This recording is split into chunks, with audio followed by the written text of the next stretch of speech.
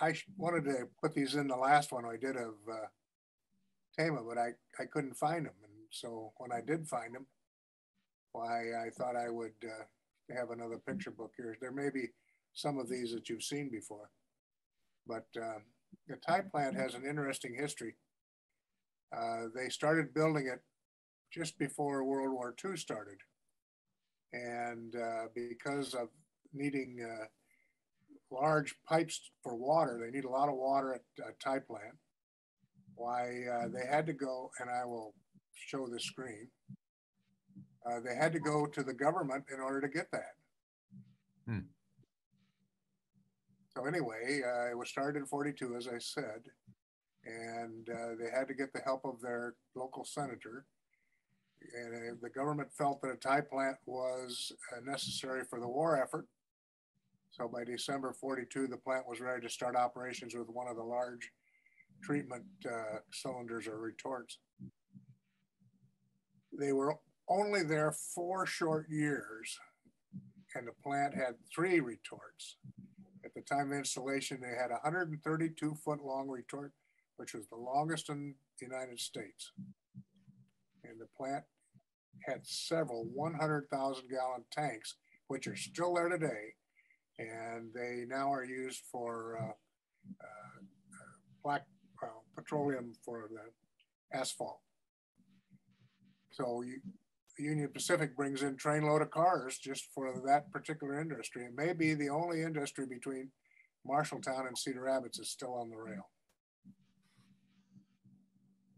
Anyway, it, it made ties mainly for the Milwaukee, the Northwestern, and the M&St.L, and poles for AT&T.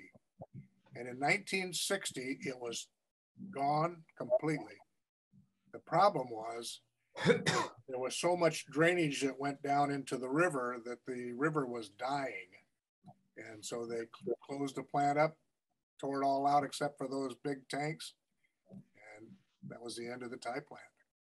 So this is a few pictures of the tie plant. Here's that big retort being unloaded. What what's that actually used for? Is that what they they soak the stuff in, or? It isn't soaked. You you put in a car. Uh, they have a, a track, a railroad track inside. So they have small cars that they put the ties on the cars and they pull them in there and fill that up. Then they put in a, a, a certain amount of uh, creosote and water, and then they uh, pressurize that tank, and that pushes that creosote into the wood. Okay. So it's a massive uh, pressure cooker, if you want to call it that. Yeah. And here comes in the second one.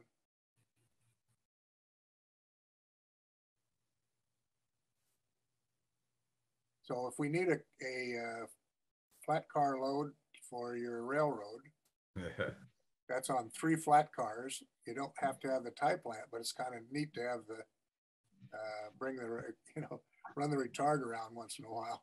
Sure.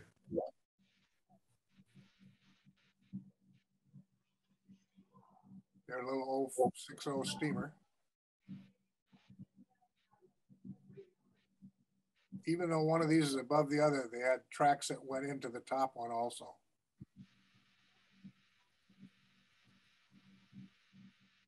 And they, there's their crane uh, that they uh,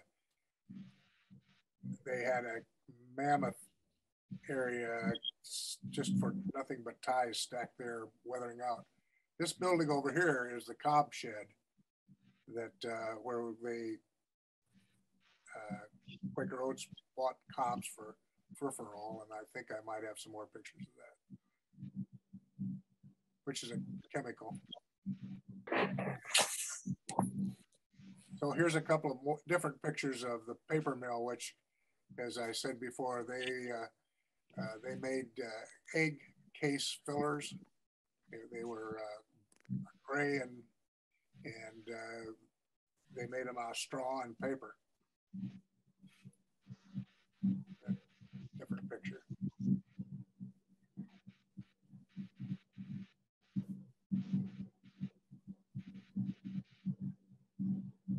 This might be the Milwaukee over here because I think it's on the west side. The Northwestern came in too, but In the other pictures, I think that was the Northwestern. In nineteen eighteen, they had a massive flood. One of the creeks, uh, they have flash floods coming out of the hills north of Tama. And this area uh, got all underwater and uh, stopped everything. And so we have a few pictures of the flood.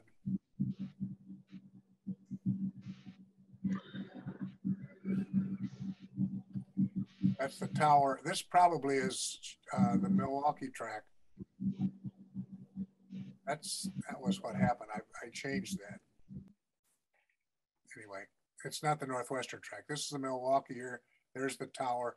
The Northwestern is over here. See the the tower for the Northwestern. Have to change that back.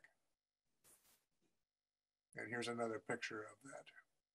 There's the Tama Northwestern Depot here. So somebody's at the, the paper mill taking a picture back. There's the hotel. And,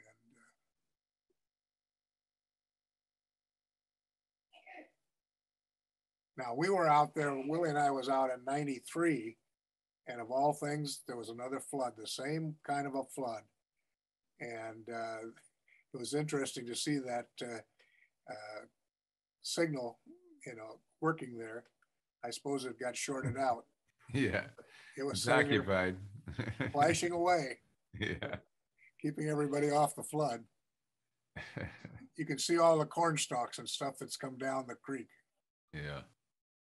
What a mess. This is a couple of pictures of the different manufacturers that were there. The reason that they were there was because they had a water, uh, uh, a um, water to make electricity with, and uh, they- they had several big factories at the time.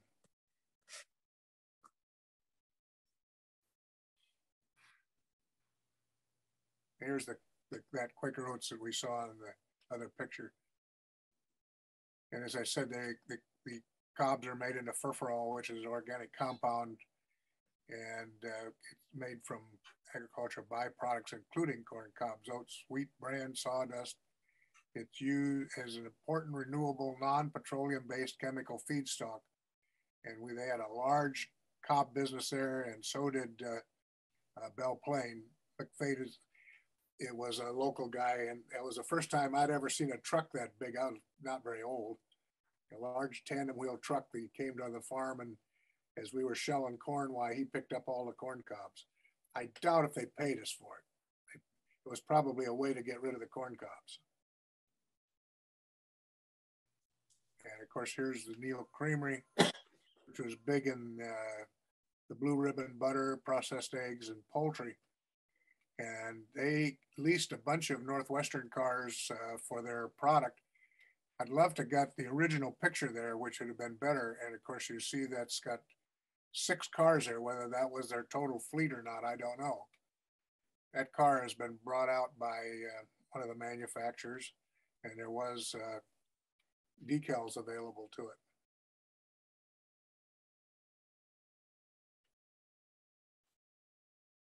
So here's a picture of the, the town, you know, this, the town itself is right in here. Here's the Milwaukee Railroad coming in. Here's the Northwestern Railroad coming in. And here's the Northwestern Depot. Milwaukee Depot is over here. What's interesting down here is all this pattern down here and, you know, people wonder what that is.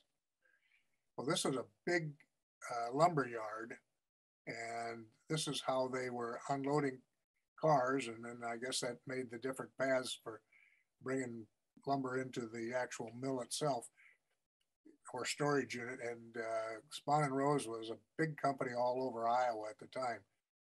This railroad here is the Milwaukee. Remember, this is the Northwestern. The Milwaukee comes down out of the picture, comes around like this, comes over here, and as the Milwaukee crossed the Northwestern, then this ended up on the other side. Now the Northwestern line coming in is right through here. And down in here, there's actually a crossing down here where the two railroads crossed each other.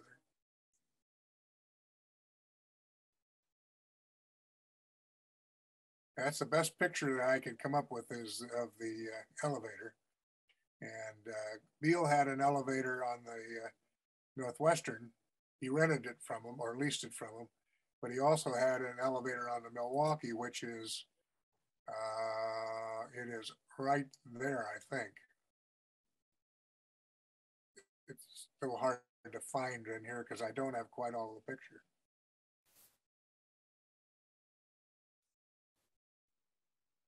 It's another one of just the uh, scale house.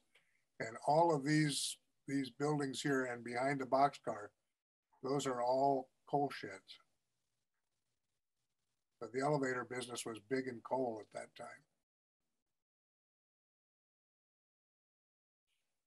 And there's a picture of Main Street.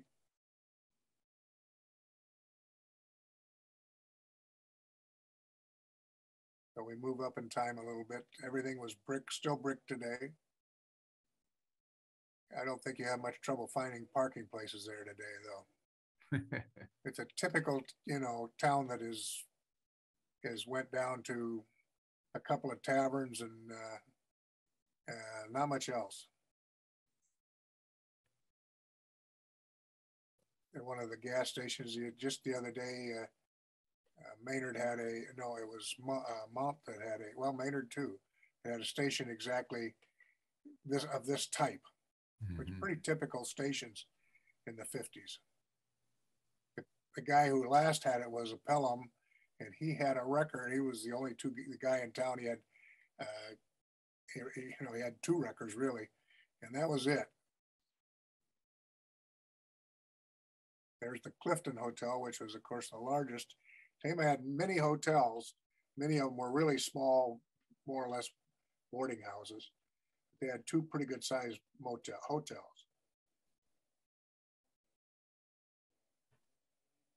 And there's the two latest ones, which is a central and here's, notice how the trees have grown around the Clifton. There it is with the trees around it. Here it is without the trees around it. Hmm. All these trees really got big, didn't they? That's one thing most of us don't model is a building with trees that large in front of it.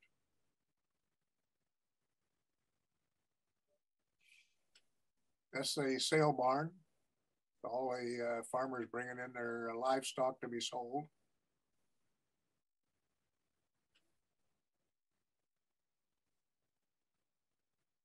And this be is the crossing of the Milwaukee and the Northwestern. We're looking down the Northwestern and a Milwaukee train coming in and going to cross here. Banjo type signal. A lot of rods. If you're going to model that, why you need the rods, even if they don't work. And this has nothing to do with Tama, but I found this picture and I thought it was really neat. That's the end of the railroad right there. It stops right there. I guess they just backed up. I don't know, you know, how long the branch was or what, but anybody know where Lancaster is at?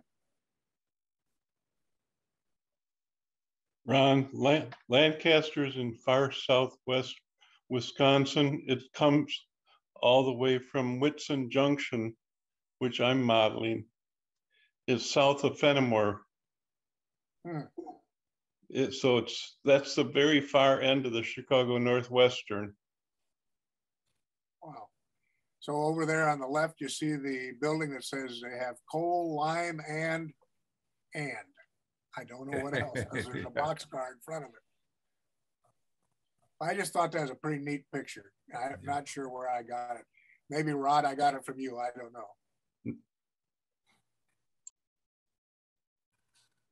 And that's the end of that one. All right, let me see here what I gotta do. Stop sharing. You want another one? Well, looks like Mark is back. Mark, you want to give it a try here? Well, can you hear me? Yes, we can hear you. Yay. Never a sure thing. Me and technology really don't get along very well.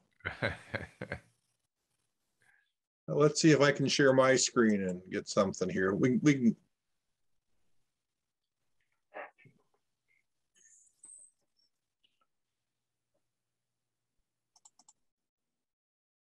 All right, this- okay. So I, can everybody see that? Yep. That's, All right, so I always look forward to whatever you guys are posting every day. And I don't know, a week or so ago, I posted a little bit about these temporary scene, scenery extensions. And here's a my layout is eight by twenty-four feet. And it's around the wall, so the track is the center line of the track is three to six inches away from the fascia edge, which a lot of times means it's difficult to take photos because the edge is always in the way. So I decided I would try and do something about that and make an extension that I could set up and then take down so I could take pictures around the layout. So as an example, here is one end of my layout. And I'd like to take a picture of that train but the fascia is always going to be in the way. So I built this curved fascia extension that I can add temporarily there, and it's just held up by uh, uh, clips. And now I can take a picture. I'm looking across the scenery extension, then I can take it down when I don't need it. That So- is outstanding. That's great. That really is. Nice job. So just, you know, mother, necessity is the mother of invention. So I actually made two of these and here, here are the two of them. You can see, and they're made from half inch foil form board, foam board insulation. And I just painted them to match the fascia, put some L shape um, uh, brackets on there so that I could stick them up temporarily. And I also added some felt onto the, the brackets so that it, they don't scrape up the fascia. Here's the other side of them. You can, you can see the, the brackets, everything's attached by construction of adhesive. The foam board with the foil is very strong Though the one I ended up folding and I had to glue on the back side a couple of uh, paint stir sticks to stiffen it up.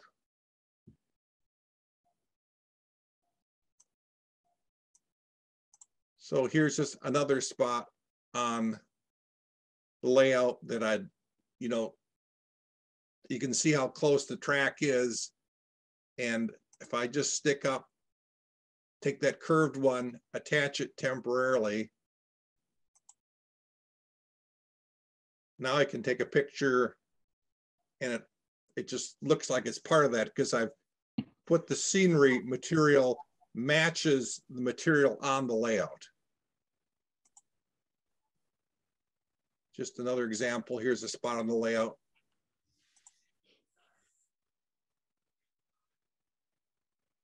Hmm. So I- I've attached this, in this case, the square one, Mm -hmm. taken a picture now I don't worry about seeing the fascia. And again, all, all I've got is a couple of uh, wood clamps that hold that on there. Just stick it up onto there and then take the picture and then take it down and put it away. So I try and make use short, short vegetation so I don't block my photos. And I, I have no buildings or trees. I don't place any, anything distinctive on the surface so that I can use it anywhere, not if I put a, a fence or an outhouse, what it would, people would recognize that and say, hey, I've seen that before. So I make them just generic as possible with matching material. Here's a spot in which it was gonna be difficult to take a photo. But it's a, if you're in Baraboo, you know this spot because it's, it's, you know, the road goes across the main street. So I could attach one here, take a picture, and if you look kind of right below the locomotive, is a- is a little line in which case it didn't quite match up. And I found that when you're attaching these extensions, if you attach them a little higher, you won't see the, the, the butting of it and it'll just look like maybe there's a change in the slope. So Mhm. it's uh, Looks an like easy little- way to take pictures. Looks like a ditch. Yeah, it just looks like a ditch. You pointed it out. Now, spot. you pointed it out. Now all I do is see it. If you hadn't said, any- if you hadn't said anything, I wouldn't have seen it. And I should have just moved it and taken another picture, but I wanted to do that. So to explain that if I just raised that a quarter of an inch, I would not Yeah. have noticed it. If I, if I'd raised it a whole inch, it would just look like the ground drops off into a ditch between the foreground and the, the layout itself. Yep. You should submit that to one of the magazines. Do a, do a how-to. That's just really cool. Is, is that strong enough to support the camera? Yes, yes. So I, I just, I just set the camera on it and position it wherever I want to take the picture. But, you know, the, the brackets are wood. They're attached by cement. I- mean, construction adhesive. The foil is very tough, other than that one that I had bent it but it, it's, it, you know, strong enough so you can set the camera on there, line up your picture and then take the picture. Now I've got one more thing I'm gonna talk about also. And I, I've enjoyed what have I've been working on lately. So I've been working on two different things and one is stainless steel loads. And I've, there's an industry on the line outside of Baraboo that made stainless steel tanks. And even though I don't, my model railroad doesn't serve the industry, the way freight has to haul material to Walker stainless steel and it has to haul loads away from it. So I thought, well, I need to have loads that can move on, in the way freight. So I did a, a couple things. In this picture here, I've got stainless steel traveling in a gondola and then a finished product that'll be hauled away from Walker stainless steel. They were shipping up till 1985 um, you on the railroad, they were shipping every week. They, they would have a tank. They would they would need uh, they would have a load to be shipped every week. So that's a, a pretty big deal now.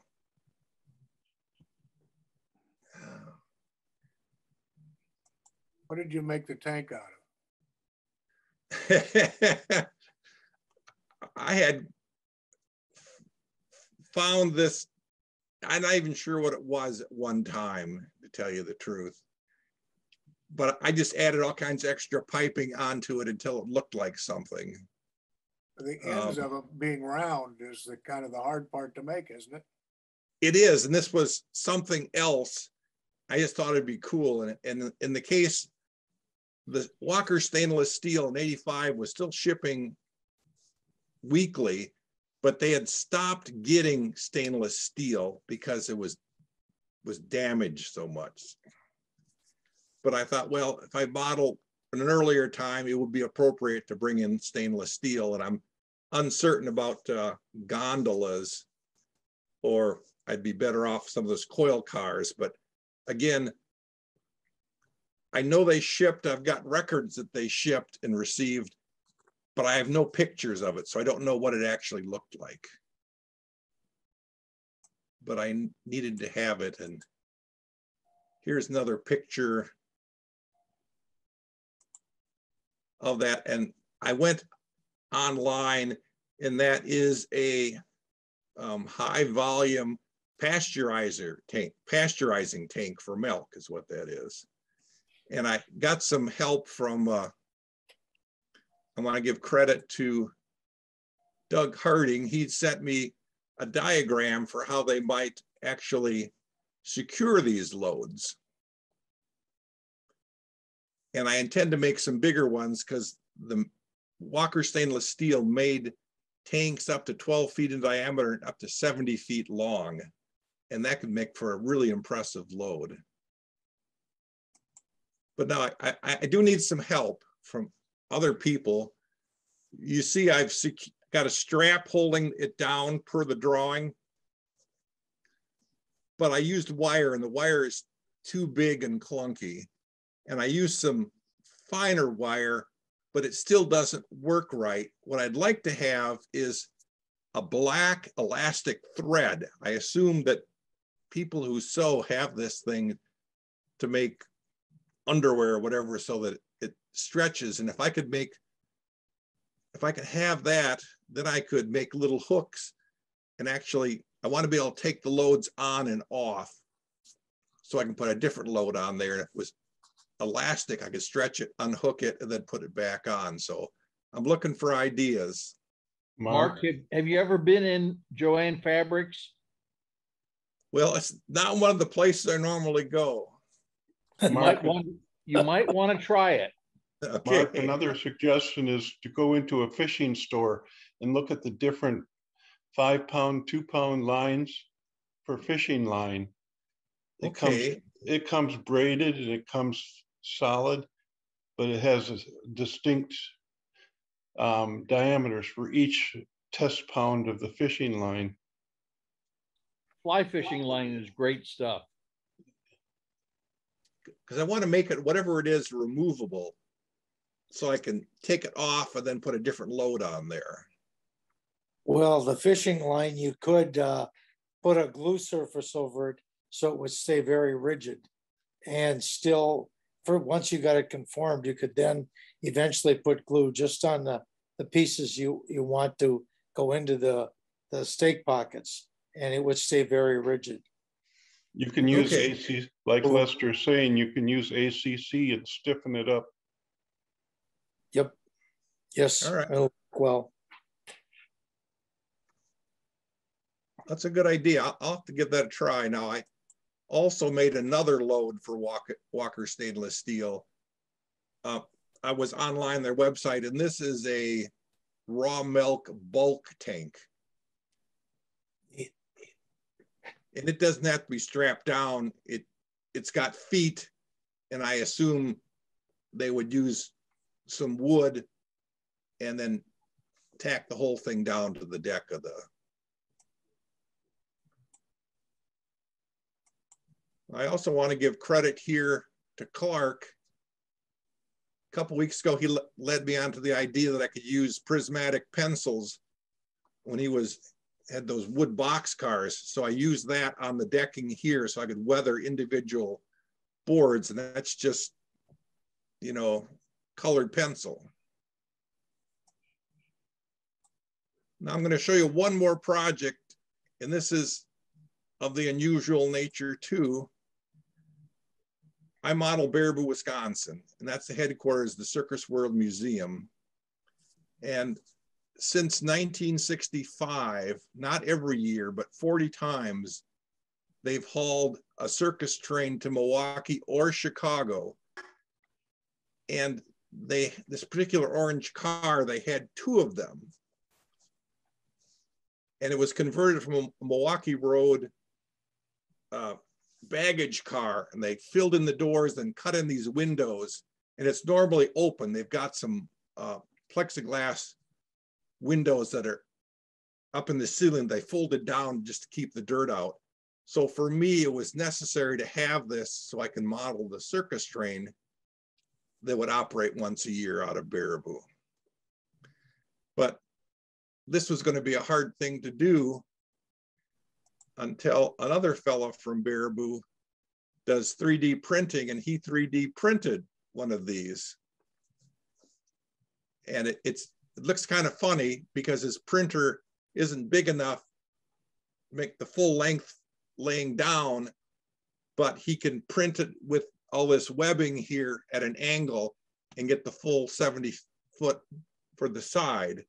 And in the right-hand corner, there's actually a circus wagon that he also 3D prints. He does fabulous work. I'm gonna put a plug in for Circus City decals.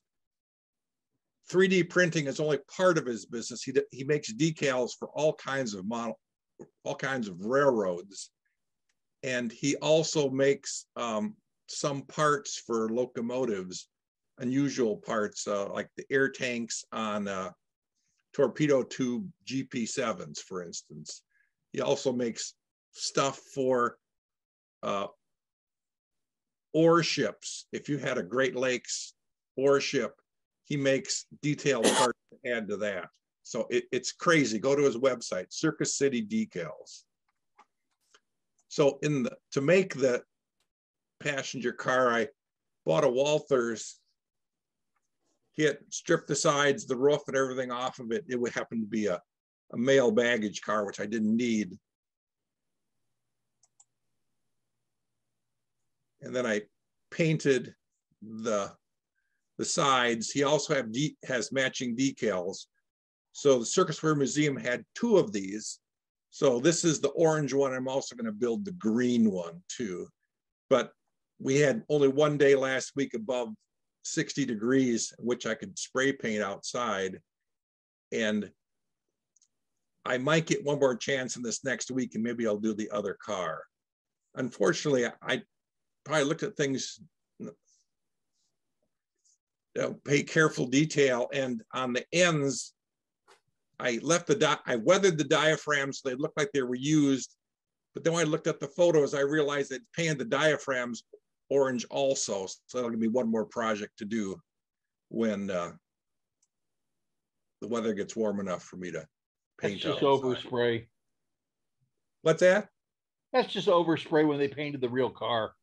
I saw I saw that car up there, and I, I really do think it was just overspray because it's rather sloppy on the end. so so you're familiar with the, the great circus train then? I am, yes. In fact, I, I I just had a fit when they stopped running it because the wagons that they were taking out of the museum, they were steel on steel. So the steel wheels on the wagons were sitting on the steel deck of the uh, flat cars, the circus flat cars, and they said they can't do that anymore because they're they're liable to slide off. So that's why they stopped hauling that train. Well, that's not the only reason. It's it's a very costly thing to do. Oh, I can imagine. Yeah. And and initially, in starting in 1965, Schlitz uh, Beer Company sponsored it. And when they discontinued it, then it didn't happen for a few years. It went to Chicago because uh, Mayor Jane Burns, Chicago put up the money and they went there for two years. And then it, it stopped and finally they got a new sponsor and it went back to Milwaukee until 2003 when that was the end of it. But it's been Uh, that long now, huh? it's been that long, yeah. Wow. No, I grew I grew up in Baraboo, so every July 4th around then, I was down at the tracks watching them load the wagons and watching the train leave. I mean, it was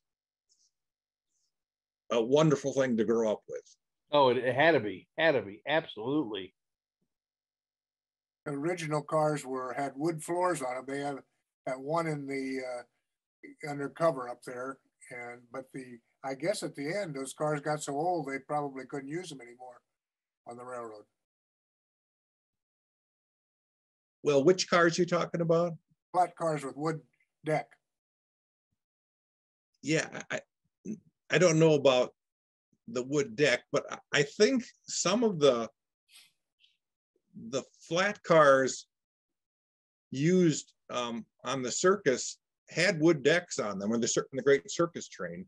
Towards the end, they end up getting some newer equipment because they're running afoul of all kinds of. They didn't have roller bearing trucks. Everything wasn't up, up to code. Yeah, the, you know, the, uh, the wood, uh, the runners where the wheels went on, they had a, uh, uh, a block which had uh, heavy cleats on them, and that's how they just dug them right into that wood to hold that, that, uh, wagon, heavy wagon in place, along with some more ropes that I think that they probably roped down the end of them, the end car, the end wagons. I've made that trip a number of times. it, it- it's worth it. It's, it's really sad that it, it's probably never gonna happen again. And especially you know- nineteen, And you moved away. That was the other problem. well, I did move back though in eighty-six though. But I've moved away again now, but if, if it happens again, I will be there. But the first five years were steam engines powered them. I mean, it was, it was fabulous. And, and then, well, they were, they- it wasn't thirteen eighty-five. Um, One time, wasn't it? oh yeah, thirteen eighty-five. And There were Burlington engine? years, 85, 86, and 87. Though in 87, um, it was sitting at Baraboo, just about ready to go, and it blew out its superheater, and they had to haul it back to North Freedom to work on. And there was an SD 60 that was on the ballast train that they hooked into the front and then hauled it down to Janesville, which was the first day.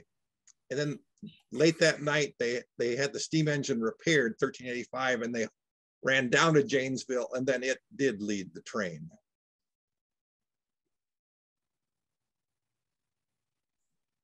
So that's all I've got with these couple presentations. That's great, Mark. I'm glad we got that, got, glad you got your audio working. I, I do not know why it didn't work because I downloaded an update for Zoom and let's just ho- hope that it happens again. Yeah, But there's there's no guarantees to that. That's great No, I got- stuff. though. I got to figure out how to get out of here now. Here, I can help with that.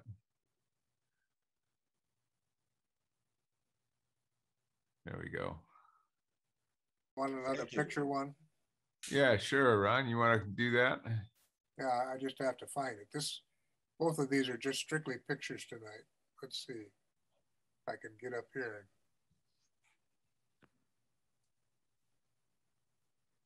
While Ron's looking for pictures, I can tell you a story about the circus train. I can't tell you what year it was, but um, I was in a ham radio club that helped run the circus parade with 35 different operators scattered around.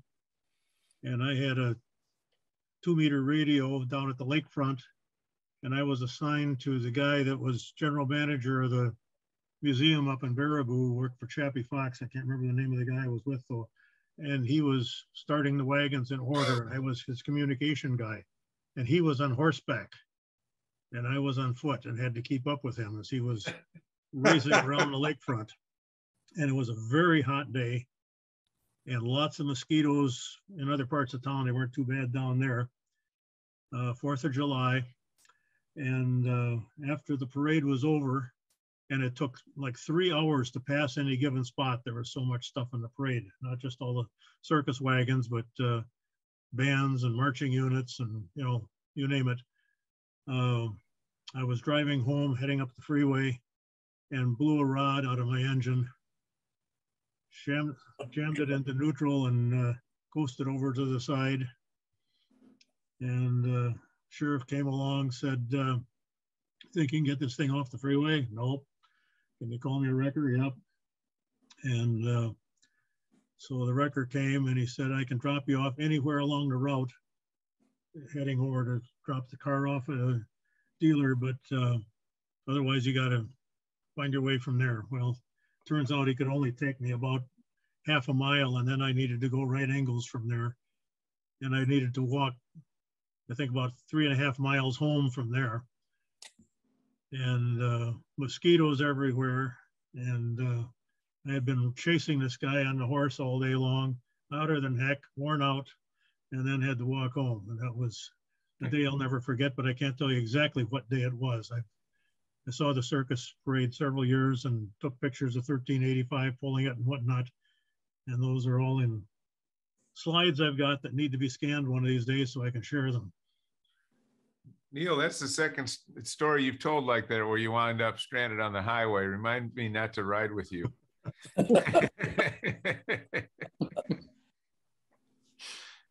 When Neil, when you're talking about the circus parade, is that on the Baraboo grounds? Or was this elsewhere? Oh, No. that was the one for the parade in Milwaukee. Oh, okay. I'm- Thank No. you. Yeah. You know, they'd have like six hundred fifty thousand people downtown watching that parade. That Yeah. was a huge, huge event. There used to be And, a uh, parade in Peru. Is, is that still going on? I don't know about that one. I've heard about it, but I've never been down there and that's only uh, an hour and forty-five minutes south of me. Yeah, that was another circus town. Right. Hagenbeck and Wallace had it. Another winter headquarters in a cold location. Yeah. Yeah, Never figured that out. okay. All right, Ron, you're on. This is just a group of pictures. So, you know, if people see something that is of interest, why let's talk about it. Otherwise, it's just. uh, Is that one of my son built? Some of this we might have already seen before too. I think uh, Rod may be making one of these uh, water wagons. I'm not sure. Ron, I've got one started. I haven't gotten very far on it. You know, this is, I think this is a water wagon right here. It's, it's a little different than the other one. It's a wood one. Yeah. It's kind of interesting that the steam engine is pulling that and the horses are pulling the thresh machine.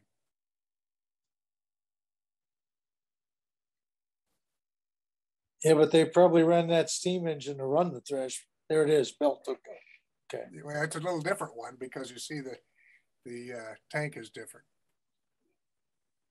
Ron, you might describe to them how they got the water out of the tank, that Johnson pump up on top. Oh, yeah. You, you know it better than I do, Ron. Well, you sent me the pictures. I might, I might have sent you the pictures, but I didn't know anything about it. Well, I'm sure they did it by hand. They just pumped, you know, whenever the uh, boiler uh, needed water, why they by hand pumped. They did. That diagonal, that diagonal rod is the hand pump. Yep. Right there, yeah. Yes, That's a Meyer hand pump, by the way. a Meyer, not Meyer, du- Meyer dual action hand pump. My son makes pistons for them. You wouldn't have diagrams for him, would you, Ken? I don't know. I'll ask him. Because I'd like to model one, Okay. HO scale. Boy, that would be tiny. Yeah, I know. Wow. Um, I think I, I I will find out. I'll ask my son uh tomorrow. He's in Iowa working on a steam engine this weekend. Maybe he has pictures of up close of an old one or something. I'm sure he does. Sure. Be glad to help you. Because most of what I've seen are the scale of picture that Ron has shown there, where it's hard to decipher. Okay, They would throw the hose in the lake or into a creek and pump water out into the Right. tank. And there'd be a filter on the back end of it, a, a, a brass filter. Um, and then they would reverse the situation, getting it into the getting it into the tank on the engine, not into the boiler. That's under pressure. um, but the interesting thing was the water quality sometimes was sus- was very suspicious. Um, if you got it out of a well, it would be sometimes you would be they'd smell it and it's, it smelled like rotten eggs. You couldn't put it in your boiler of the engine because it would foam up. you know what's interesting in that photo is on the far right is that rounded tank underneath the guy who's sitting on the, Well, I think it's a second water tank. I know, guys, I think that's, uh, if you look at the threshing machine, if you remember, uh, the grain would come out. I really believe that's a grain wagon and that's what's catching the grain. No, I wait used to minute, pit wait a minute. Are you, which one, on the right or the left? the one on the left side, That is definitely the old that one right there with the guy, I That's the- believe that's where the grain, uh, there was a grain chute. Remember off the, uh, just like the straw chute?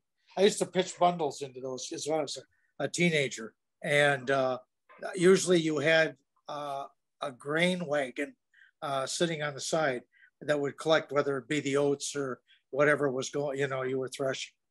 This is a big rig because they're throwing in bundles from two wagons. Here's a wagon on this side. Here's a wagon on that side full of uh, bundles of whatever oats or used wheat. Ron, Ron, we used to uh, pitch those on when I worked when I worked on my grandfather's farm. Even though what the size of the machine, we would a lot of times have two wagons going because then you had to pitch what make sure the uh, the the shock. You know, the field was shocked at that time a lot of times before the combines, and you had to make sure the head of the shock went in first to shake the grain loose in the machines, and then it would normally collect in that wagon, which was hauled off to a greenhouse. Right. Notice there's a guy up here on the uh, the uh, straw pile, and he is uh, how flat and uh, that it is. I mean, they used that straw, and they the the, the better that Yep. he stacked it, the better that it kept through the winter. Correct. Yep.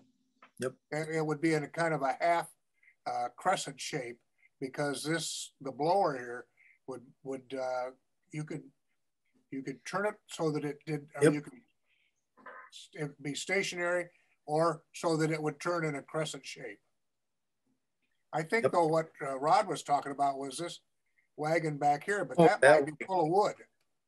That's his fuel wagon. That's the what wagon? Fuel. Fuel. Yeah. Yep. Wood or coal, whatever they're Whether burning. it's, whether it's coal or wood, it's not Yeah. straw, it's not a straw feeder. Not It's this not a straw burner. Look at the black smoke.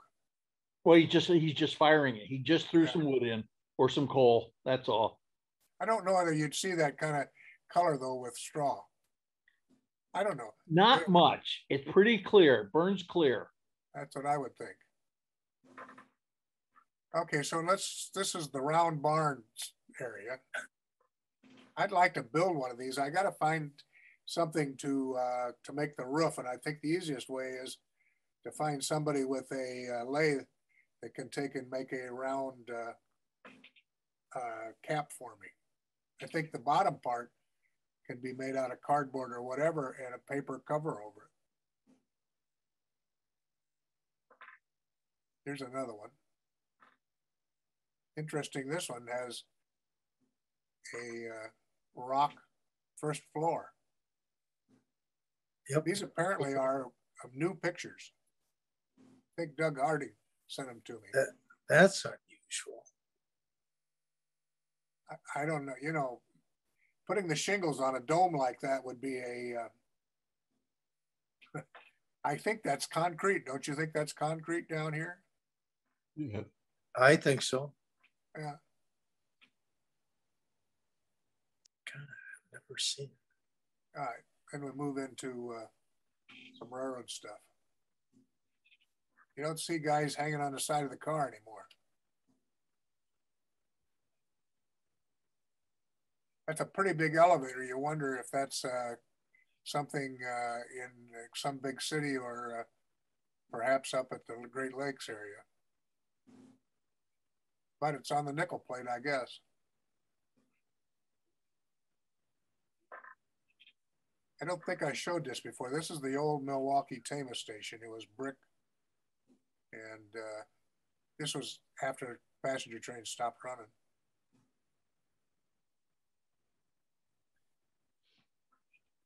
This, if you model the a wood car, this is really a great picture for detail.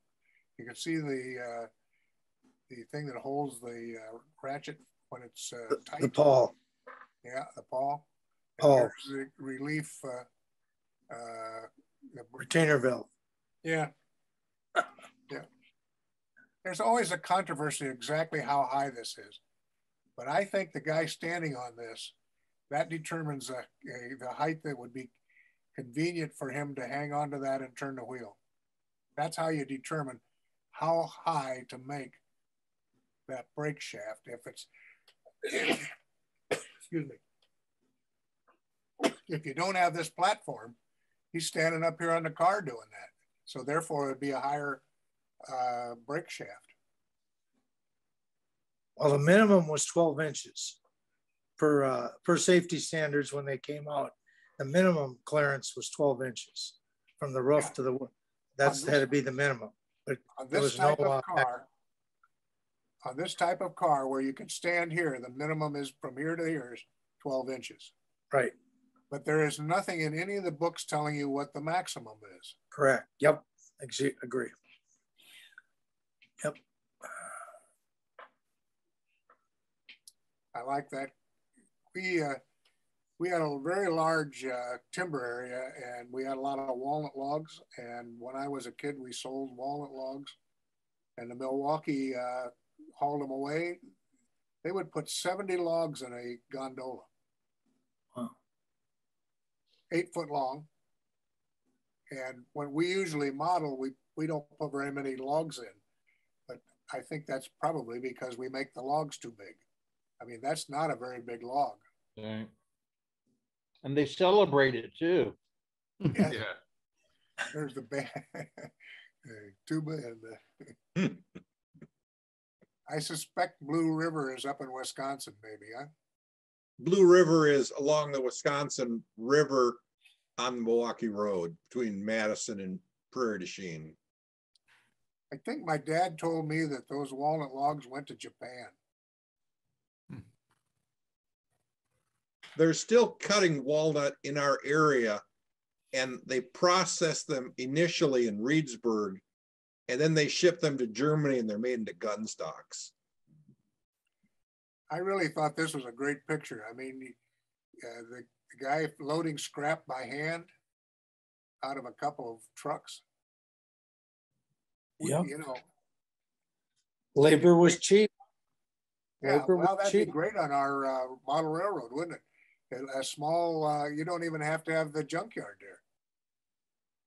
And how many people will put white wall tires on a truck? Very good. How about this truck doesn't have a top on it? Those white walls probably came off of a car when they went to change tires and get new tires. They probably were on their last legs.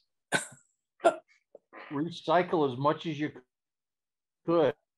Well, you know, the car, when we took the tires off the car, we put them on wagons. As long as they would hold air. If, if I may, there's a, a on scrap story.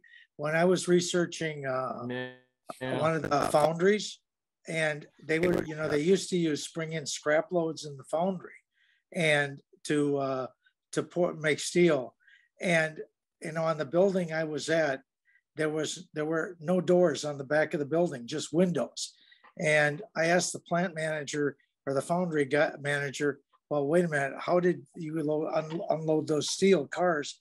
And he said, guy, we'd go down to the local uh, labor area, pick up 20 guys. He said labor was cheap and they toss it in the windows. So they had no doors for security or they tossed all the scrap into the furnace, into an uh, area that went into the furnace uh, via window.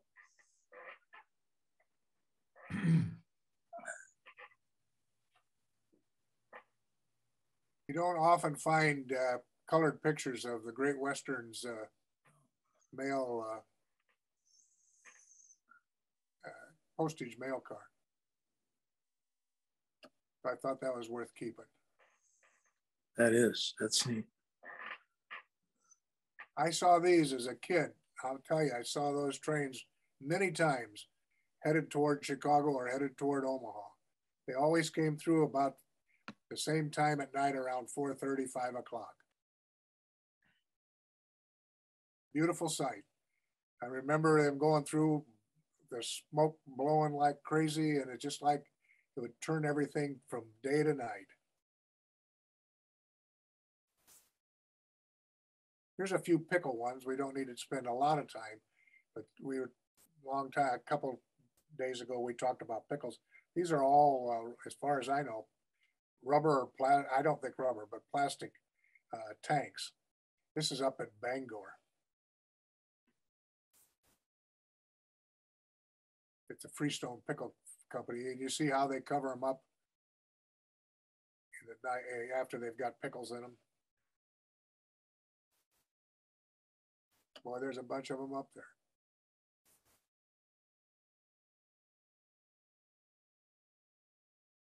Well, I think we talked a little bit about uh, shelling corn in the field. Uh, you know, before uh, they had combines and stuff that shelled the corn right when they picked it. Corn was all picked in the ear, and then we put it in corn cribs to dry it out. And when the corn price went up, why out came a guy with his uh, portable sheller and uh, he, that's what he's doing. You can see the, the uh, shelled corn coming out here. Here's the husks and stuff here. And back here is the, uh, uh, where the cobs are coming out. Although I kind of wonder, it looks like this corn is actually on the ground. So the cobs would be over, not into the corn, it it's in between. I, someday I may make one of those. I, I've got it started. If you ever wanted to see what my la- railroad looked like, there it is. Yeah. And that's the end. All right. Very good. Mm-hmm. Well, Looks we've like got, Time too. yeah, it's about right. Yep, just perfect. Um, we've got Brian lined up for next week. We could take one or two more. If you guys are up for it, let me know. And uh, thanks very much, Mark and Ron, for presenting. That was very interesting and enjoyable, and uh, great ideas on that uh, on that extension to the to the fascia. Who wanted the picture of the Meyer tank or the Meyer pump? That's Rod Thompson. Okay, um. Yes, my son has one. A picture, so we'll figure out how to get to him. All right, that's great. I, he Rod's muted, so he might have stepped away or something. If you could get it to us, we could put it out for everybody if it's. if Oh, it's- sure. Ken, That'd be Ken, can- fantastic. yeah, send be it to super. everybody. Yeah, Okay, I'll do it on the email. Yeah. Thank you. Thank Thank you you. very much. That's okay. That's great. Time and effort is valuable. Thanks. Yeah, very much so. That's All all he does is old stuff. God love him. All right. Well, thanks everybody for joining. We'll see you next week. Have a nice evening. Thank you. Bye bye. Thank you.